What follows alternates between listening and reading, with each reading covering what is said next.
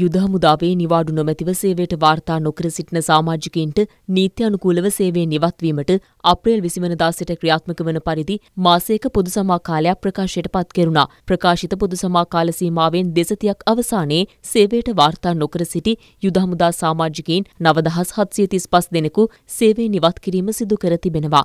සේවයට වාර්තා නොකර දැනට විදේශගතව සිටින යුද හමුදා සාමාජිකයින් 35 දෙනෙකුද මෙම කාල සීමාව තුළ යුද හමුදා සේවයේ නීත්‍යානුකූලව ඉවත් කළ බවද යුද හමුදා මුලස්ථානය පවසනවා.